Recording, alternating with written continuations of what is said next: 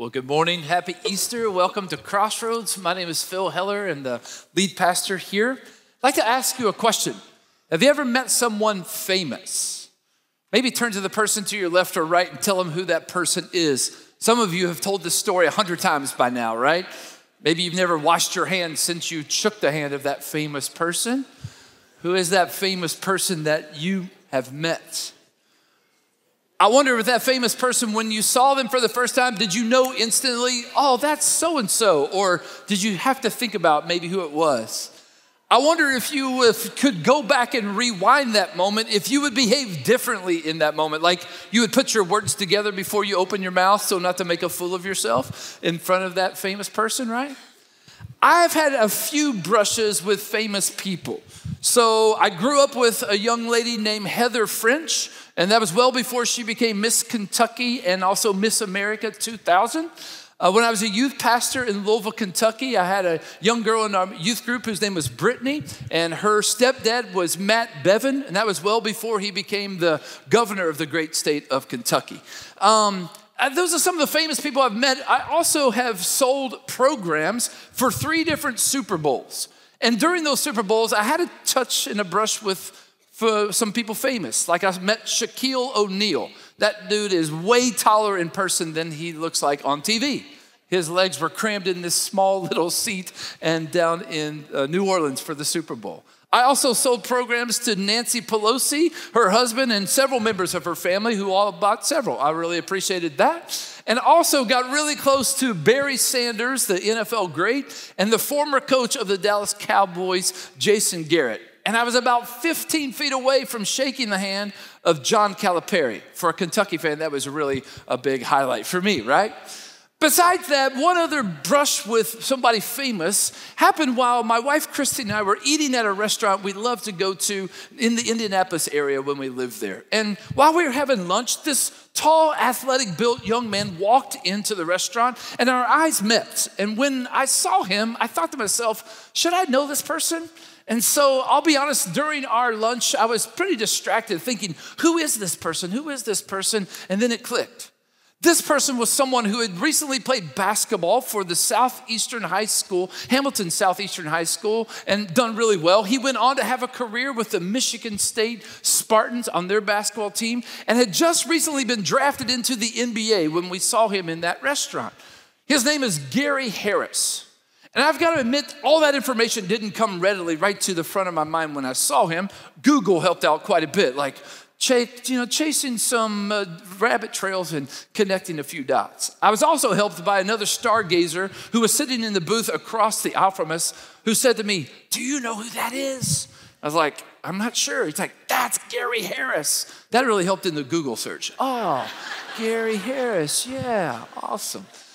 I thought that might be the last time I saw Gary, but um, actually, he showed up several years later at an event at the high school where my kids all attended in Noblesville. And my son was playing for Special Olympics at that time, and Gary was a celebrity they brought back for a basketball game.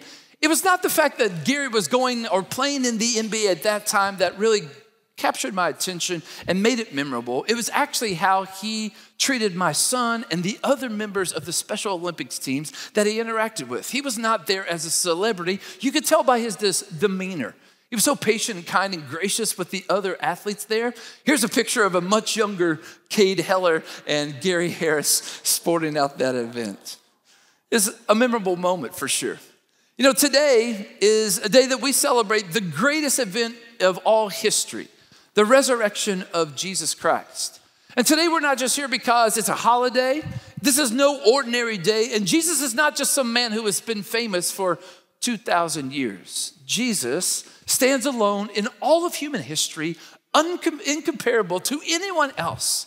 His influence and presence has been seen in all kinds of uh, sectors of our world, like healthcare and literature and art and certainly religion. His words and way of life have been considered as a way to pattern the way that we live our lives and the way that we love other people, all based on this man known as Jesus. He is the one that we seek to worship today. We are aided in our understanding of who Jesus is by the 2,000 years that have existed since he lived, since he died, and he came back to life. But those who lived in the first century AD, they had a disadvantage, and that disadvantage was real time. They needed some help in connecting the dots of understanding who Jesus truly was, his full identity as Messiah, as Savior, and certainly as Lord.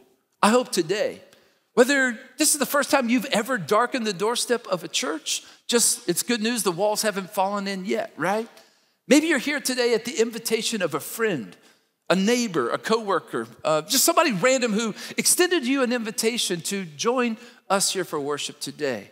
Maybe you're back after a while of being disenfranchised with the church or disappointed on how life worked out. Or maybe you're here because you worship here every Sunday and you've come to celebrate Jesus with us together. I hope wherever you might find yourself on that spectrum today, that we would all see a fuller picture of who Jesus truly is and the hope and joy that he brings to our lives today. Over the past several weeks, as we've been leading up to Easter, we've been walking in the footsteps of Jesus as he made his way into Jerusalem and ultimately to the cross, a path that was marked out for him by his Father. He knew the mission from the day he arrived on earth, and that was to give his life as a sacrifice for the sins of all the world. This was not something that Jesus was unaware about. He fully embraced that mission from day one. And we see Jesus humbly entering the city of Jerusalem, just willing to be who God wanted him to be, no matter what anybody else wanted or thought of him to be. We see Jesus' commitment to and surrender to this mission by the, the prayer he prayed in the Garden of Gethsemane when he said these words Father, if there's any way possible, take this cup away from me. Yet not my will, but your will be done. We see Jesus his resolute focus, regardless of how his closest friends, the disciples, or the religious leaders tried to oppose him, we saw him being obedient unto death, even death on the cross. And on that Friday afternoon, he took the nails into his hands and his feet for what you and I have done, the sins that you and I have committed. And on that cross, he prayed a final prayer Into your hands I commit my spirit, and then he died. After he died, world, the whole earth turned dark for like three hours. There was an earthquake and rocks split open. There was a veil that separated the most holy place from the rest of the temple, and it was ripped from top to bottom. And after he died, his body was taken down from that cross. It was wrapped in a linen shroud. It was placed in a tomb that was owned by a guy whose name was Joseph. He was from Arimathea. And the tomb was sealed with a huge rock.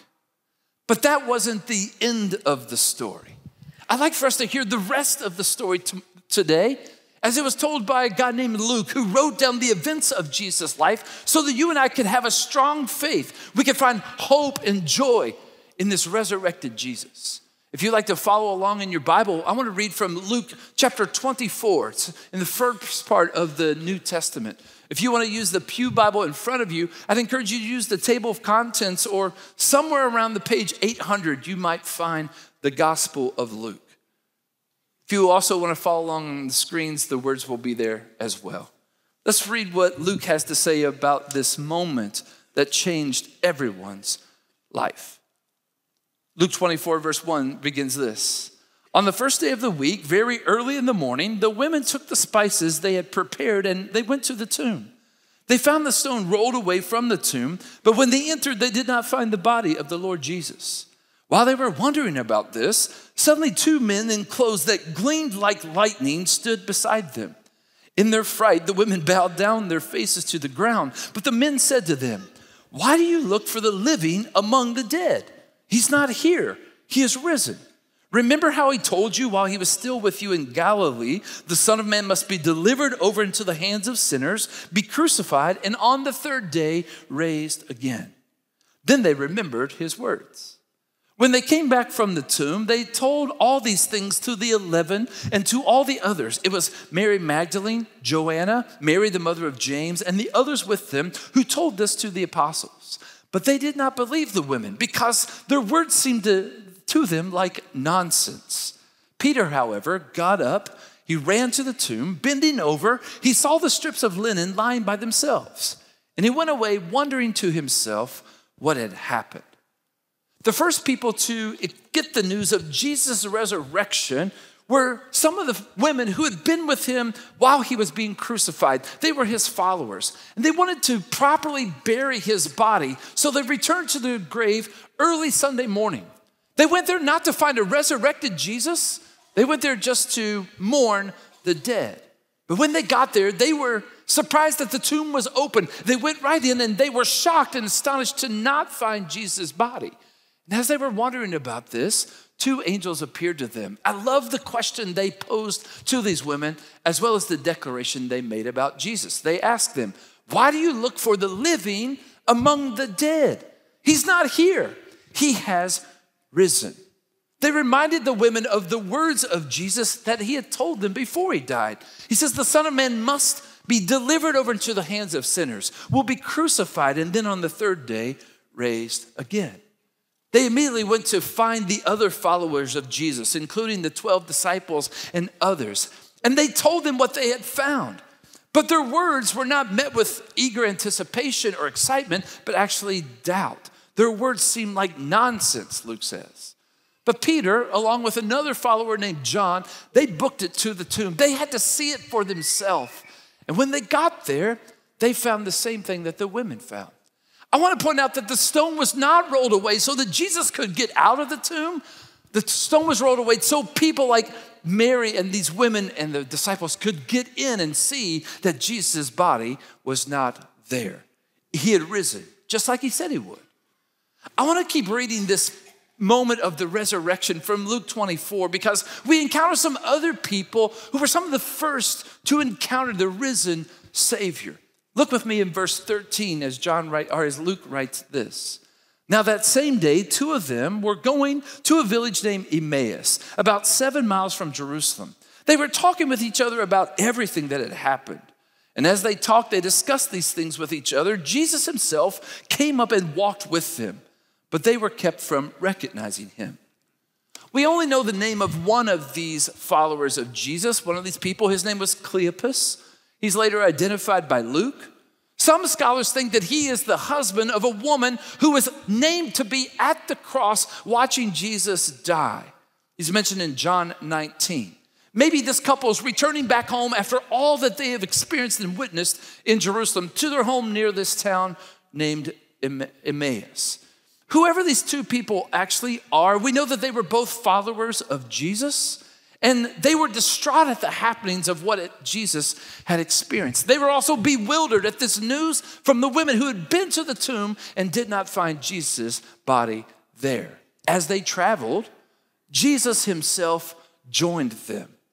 Luke notes that they were kept from knowing his true identity by God. It seems like God was waiting for a very special moment to reveal Jesus' true identity to these two people so they could fully grasp who he is. Well, let's look how that played out. Verse 17 reads this Jesus asked them, What are you discussing together as you walk along? They stood still, their face downcast. One of them, named Cleopas, asked him, Are you the only one visiting Jerusalem who doesn't know about the things that have happened there in these days? Jesus, kind of playing along, maybe playing dumb a little bit, he says, What things? He asked. About Jesus of Nazareth, they replied. He was a prophet, powerful in word and deed before God and all the people. The chief priests and our rulers handed him over to be sentenced to death, and they crucified him. But we had hoped that he was the one who was going to redeem Israel. What's more, it's the third day since this all took place. In addition, some of our women amazed us. They went to the tomb early this morning, but they didn't find his body. They came and told us what they had seen a vision of angels who said he was alive. Then some of our own companions went to the tomb and they found it just as the women said, but they did not see Jesus. Jesus said to them, How foolish you are and how slow to believe all the prophets have written. Did not the Messiah have to suffer these things and then enter his glory? And beginning with Moses and all the prophets, he explained to them what was said in all the scriptures concerning himself. These two followers of Jesus, they were not misinformed or even uninformed, they were just unconvinced. They were slow to believe all that had been prophesied about Jesus. They failed to grasp the significance of his sacrifice and his suffering, and they did not realize that the resurrection had happened.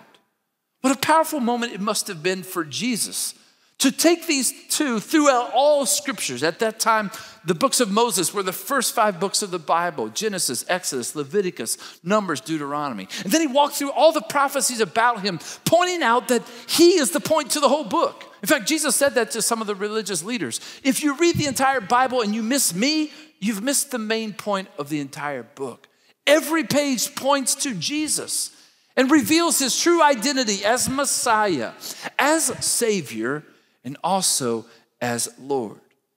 Even though Jesus had told them many times that he would die and then come back to life, they didn't realize that it was happening just like he said it would. They were perplexed. They began wondering all about that had happened. And so Jesus walked them through exactly what had taken place and how it fulfilled all the prophecies. Jesus wanted to reveal himself to him. He wanted them to understand that God's plan for humanity was the same from the very beginning, that God wanted to be with us and us with Him forever. But sin wreaked havoc in all kinds of aspects of our life, most importantly, the relationship we have with God. Sin separated us from God. And so God did something about it. He provided a remedy for sin for all time, and that was the sacrifice of his son Jesus. His death on the cross took our place, took our punishment. He paid our debts but what Jesus did for us.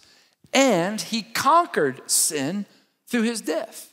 He conquered death by his resurrection. And so all of that provides for us hope and joy and salvation, something we should celebrate every day of the year, not just one time a year. Jesus connected the dots for these two so that all of us could understand that he successfully accomplished the mission given to him by his Father to reconcile all humanity back to God.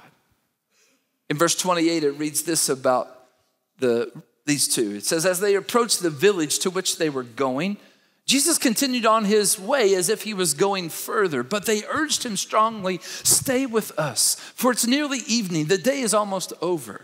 So he went in and he stayed with them. And while he was at the table with them, he took bread, he gave thanks, and he broke it and began to give it to them. Then their eyes were opened and they recognized him, and he disappeared from their sight.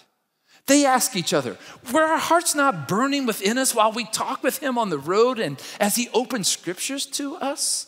They got up and they returned all the way back to Jerusalem at once. And there they found the 11 and those with them. They were assembled together and they were saying, It's true, the Lord has risen. He's appeared to Simon. And then these two told them what happened on the way and how Jesus was recognized by them when he broke the bread. These two people had an encounter with the risen Savior. And while at first their eyes were blinded, by uh, God Himself, the, their eyes were now open so they could realize whose presence they were actually in. Some recognize this moment as a parallel with the moment Jesus fed the 5,000 people miraculously. He took bread, He broke it, and He gave it to those who were there that day. Some also so see the parallel with this moment Jesus had just spent with his disciples in the upper room where he took bread, broke it, gave thanks. It's not sure that these two people on the way to Emmaus were at either event, but in this moment, they truly understood who Jesus is. His full identity was revealed to them. I love their reaction. They said, Man, did we feel something in our hearts as Jesus was talking with us on the road, as he explained the scriptures to us? I wonder if you've ever had a moment like that. Have you ever had a moment where there was a sincere uh, desire and maybe even revelation of who Jesus was to you. I wonder if you're willing to sort through maybe some doubts that you might have right now, whether you've grown up in church all your life or not. Maybe you come today wanting, desiring, maybe earnestly seeking who is this Jesus that this whole thing is about? Well, I think from looking at these, the experience of these two people on the road to Emmaus, we can come to understand how we have hope and joy in the resurrection of Jesus and why that's worth celebrating. The first reason I think that that's possible and true is because Jesus fulfilled all that Scripture revealed about him. When you trace the footsteps of Jesus while here on earth, what you'll recognize is that he fulfilled everything that was prophesied about him. When he was born, where he was born, how he would interact with people, the miracles he would perform, how he would die, how he would come back to life. If Jesus had not fulfilled even just one of those prophecies, then it would shed doubt on him being the full Messiah, our Savior, and certainly Lord. But because he fulfilled every single one of those prophecies, we know that God is good for his word. We know that we can take his many promises to us at face value. Jesus fulfilling all those prophecies shows us that he is worthy of our pursuit. He's worthy of our worship. He's worthy of our followership. Jesus fulfilled every single prophecy. Jesus did, uh, Jesus stands as a powerful example for us as we place our faith and trust in the words of God Himself. Peter is one of the first followers of Jesus. He's actually one of those people who experienced Jesus after his resurrection firsthand. He writes these words. We read them earlier. Look at them again. 1 Peter chapter 1. Peter says this. Praise be to God, the Father of our Lord Jesus Christ. In his great mercy, he's given us new birth into a living hope through the resurrection of Jesus Christ from the dead. And it's into an inheritance that can never perish, never spoil, never fade. This inheritance is kept in heaven for you, who through faith are shielded by God's power until the coming of the salvation that's ready to be revealed to you in the last time. I love this next part. Though you've not seen him, you love him. And though you do not even see him now, you believe in him and you're filled with an inexpressible and glorious joy, for you're receiving the result, the end result of your faith, the salvation of your soul. Do you hear the confidence that Peter speaks of? He had seen firsthand how Jesus fulfilled the prophecies about him. He placed his trust and his followership in Jesus because of that. Because of what is true about Jesus, we have salvation and we also have hope to live here and now. This fills us with joy because we experience peace with God and the peace of God. Another reason I think we can celebrate the joy and hope that we have in a risen Savior is because the eyewitnesses confirmed what's true about Jesus. Jesus made a bodily resurrection. And that's really hard for us to grasp, get our arms around, because it's not normal or natural for people to come back to life after they've died. There's only a few examples of that happening. Jesus resurrected some people, but guess what? They all died again, but not Jesus. Jesus died, he came back to life, and he is still living. He is reigning in heaven as our living Savior, our risen Lord. And all the eyewitnesses point to that being true. We weren't there in the first century, but we can take it on their testimony. Jesus appeared to not just his 11 closest friends, he appeared to the women who went to the tomb. Paul says he appeared to many people, even 500 people at one time. You know, it only takes a couple of eyewitnesses, two or three, to prove the evidence for something. And the evidence against, for Jesus' resurrection is overwhelming. We can trust it, it is true. The list of people that all encountered Jesus after his resurrection stand as witnesses to us. We can be confident in our faith because the eyewitness confirm that Jesus is alive. Why does that matter? Well, I think the next thing is this Jesus will reveal himself to us as we seek to follow him and know him. You see, interacting with Gary Harris just in that restaurant one day was fine. It was just a brush with somebody famous. But when we had personal interaction with him and his story intersected with our story in the life of somebody we love, that changed the whole thing, right? That's what we see happening with these two people on their way to Emmaus. They knew the facts about Jesus, but now they encountered the risen Jesus, and that changed everything for them. I love that these two people begged Jesus to stay with them, to come into their home, to eat with them. It was only after that that their eyes were open and they truly understand who Jesus fully is. So the question that haunts us is like, what if they hadn't? What if they just let Jesus continue on his way and not begged them to begged him to stay with them?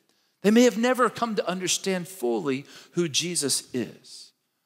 I wonder if you're willing to seek to know Jesus more, even though you might have doubts. I wonder if you're curious enough or maybe desperate enough to seek to know Jesus more. Last year, something happened that actually proved that what I've been saying for most of my life is actually true. That's a really good feeling. If you've never had that before, you should try it, okay? Here's the statement I've always said that the redwood trees and the, the, um, the what's the other type of tree? Sequoia tree, thank you. Both of those trees, they're really tall and they're really wide. And I've always said, like, getting to know God is kind of like trying to get your arms around a sequoia tree. The harder you try, the bigger you realize that that tree is. Well, last summer we went to Northern California. We stood at the base of those redwood trees, and boy, they're tall. I tried to get my arms around a sequoia tree, and it was impossible, right? It just proved to me that the same is true about Jesus and God. The more you try to get to know Him, the more you'll realize that He is so much bigger than you thought so much more worthy of your worship, so much more worthy of your trust and your followership. The book of Acts is filled with people who actually had the opportunity to see who Jesus is, to get to know him more, and to see how his story intersected with their story. Some of those people are a woman who seemed to have everything that the good life offers her, but yet she felt hollow inside and wanted to know more about Jesus. There's another man who always felt like he was on the outside looking in, and he wondered did God's story actually include him? There was a man who was just so misguided. He thought he was headed the wrong, right direction, only to realize he was headed in the opposite direction of Jesus. And then there was another man who, on the very worst day of his professional life, met Jesus for who he truly is. Those are just a few of the stories that the book of Acts records. And beginning next week, we want to take a walk with some of these people and look at their stories and see how God's story intersected theirs, all for the purpose of understanding how God's story includes all of us. And so we can also be equipped to tell God's story in our lives. Next week, we're beginning a new teaching series, and it's actually called What's Your Story? And I hope that everyone in this room will come back next week, either at 9 or 11 a.m., to join us on this journey as we get in touch with God's story in our life so that we can be equipped to share that story with others. One last thing that gives me reason to celebrate the hope and the joy that we have in this risen Savior is this is that Jesus' resurrection fills us with hope. He fills us with joy. We get to see the contrast of these two people's life on the way to Emmaus. They were downcast and distraught at all that had happened, thinking that their hope was all lost, that Jesus, the one they placed their faith in, was dead and gone. But then, after encountering the resurrected Jesus, their whole life changed. They're now filled with joy. Instead of sleeping that night, they ran all the way back to Jerusalem, seven miles, so they could tell other people about Jesus who they had experienced. If Jesus' death would have been the end of the story, none of us would have hope of salvation or eternal life with God. What Jesus accomplished for us by dying on the cross and by resurrecting from the grave gives us hope and joy today, no matter what we may be walking through or dealing with. And that hope and joy is forevermore. I love what the Apostle Paul said to the Romans about all this. Look what he says in Romans chapter 5, beginning in verse 1. He says, Therefore, since we've been justified through faith, we have peace with God through our Lord Jesus Christ, through whom we've gained access by faith into the grace by which we now stand. And we boast in the hope of the glory of God. Not only so, but we also glory in our sufferings because we know that suffering produces perseverance Perseverance, character, and character, hope. And hope does not put us to shame because God's love has been poured out into our hearts through the Holy Spirit who's, given, who's been given to us. And then Paul speaks of the gospel very plainly. He says, You see, at just the right time, when we were still powerless, Christ died for the ungodly. Very rarely will anyone die for a righteous person, though for a good person, someone might possibly dare to die. But God demonstrates his own love for us in this. While we were still sinners, Christ died for us. All that is the power of the gospel that gives us peace between us and God. Paul says it gives us power to live this life, no matter what we might be facing, because we face it with perseverance, and perseverance leads to character, and character leads to hope. Those are things that the power of the gospel can do in our life when we truly understand who Jesus fully is. But then Paul gives us how we should respond. And I like the words that Eugene Peterson paraphrased Paul's words when he said this. Look at the last section of this passage. He says, Now that we're set right with God by means of the sacrificial death, the consummate blood sacrifice, there's no longer a question of being at God, odds with God in any way. If when we were at our worst, we were put on friendly terms with God by the sacrificial death of his son, now that we're at our best, just think of how our lives will expand and deepen by means of his resurrection life. Not that we have actually received, now that we've re- actually received this amazing friendship with God, we're no longer content to simply say it in plodding prose. We sing and shout our praises to God through Jesus the Messiah. Paul takes us on this journey that says we have peace with God because of what Jesus accomplished for us on the cross and by resurrecting from the grave. It gives us power to live the life that we're living right now, no matter what we might be facing. No matter what we might be going through, no matter how people might feel about us, we live with power. And that power leads us to purpose. And that purpose is to give glory to God because of who He is. And fully understanding that Jesus is our Messiah, He's our Savior, and He's our Lord, we live differently. Every day that we get up, we do so with purpose to reflect the one that we say is our Savior and Lord in the way that we live and in the way that we love. My question for all of us today is this Are you living with that kind of peace? Are you living with that kind of power? Are you living with that kind of purpose?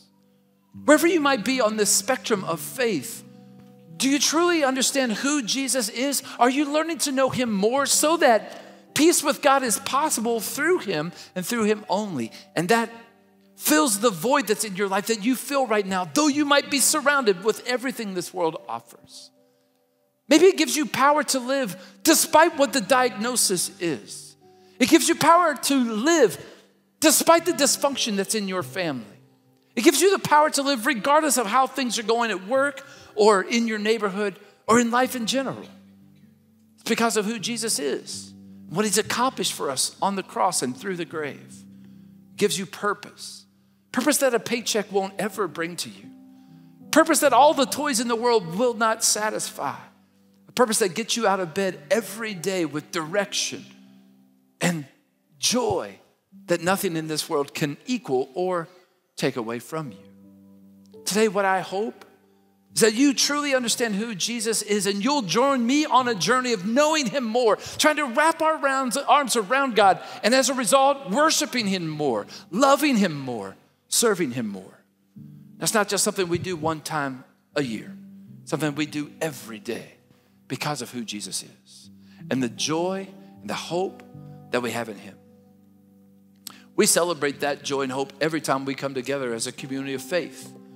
We do that by taking a small cracker that reminds us of Jesus' life, his death, and his resurrection. It reminds us of how he lived and how he loved as an example for us to follow. And also, we take a cup of juice that reminds us of his blood that was shed for us, the sacrifice he made for us. When you came in today, you should have received a, a, a, little cracker and a cup of juice. And if you made it in today and you didn't, just raise your hand real quietly. One of our ushers will bring you that as, uh, as, as I give us a moment to reflect. You know, my hope today is that you'll take these next few moments and think about are you living at peace with God? Are you living according to the power that's available to you through the Holy Spirit? Do you have purpose in your life that transcends every day and directs your everyday activity. I'd encourage you to use these quiet moments to just remember Jesus and to think about who he truly is, who he fully is. Also, I hope that as we break bread together, this that you will come to know Jesus fully, that this risen Savior, you'll have an encounter with him. I'm gonna pray to that end right now. Would you join me? God, I wanna thank you for Jesus. Thank you for presenting him as an example of how to f- follow and love you. Thank you for offering him as a sacrifice in our place so that we could be forgiven of our sins. God, I want to thank you for raising him from the grave to show us your unrivaled power. God, I pray for all of us today, we'd encounter this risen Savior, Jesus, who's Messiah, who is Savior, who is Lord of all. God, I pray that that encounter would change us. It would bring us peace with you, give us purpose and power to live with. God, I pray that you would meet us in this moment as we remember Jesus. It's in his name we pray right now. Amen.